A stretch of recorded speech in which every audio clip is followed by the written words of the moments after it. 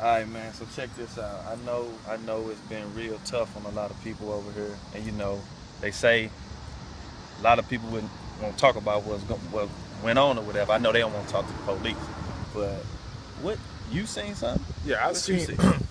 I didn't see the initial pour, but I seen the closure of it. You know, I seen I seen little Mike Mike running eastbound on Canfield. You know, cause I'm on the porch, I'm talking to my peoples and stuff, and uh, I heard a gunshot. So I, I instantly like, you know, let me call you back.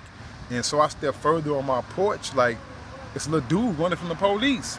So I see the police busting at the young brother, brother Brown. You know what I'm saying?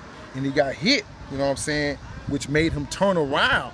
So 'Cause which got- way was he running on he was running. He was running eastbound. He You know running what I'm saying? He was running that way. Okay. So when he got grazed by the bullet, he Mhm. immediately turned around and put his hands up in a position to where I surrender, I give. Right. So he turned around this way. He turned around this way. He, Okay. he was walking back toward the police. He was walking He back was walking toward. back toward the police. And as he's walking back was he toward the, saying anything that you could hear? he didn't say anything, uh, no verbal. I didn't hear nothing at that given time Why you think he was walking back toward him? because he, I guess he, he got to Let him them know don't shoot no more. Oh, okay. So Yeah. as he turned around, the police already automatically had his gun up and started shooting. It got closer. They got closer. It got closer. And he let every round off in his gun off on his little brother from his abdominals to his chest, upper torso, to his head.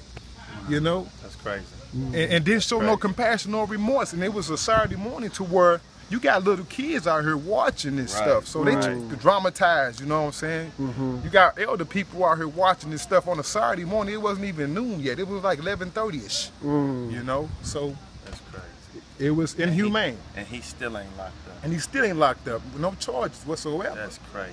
You know,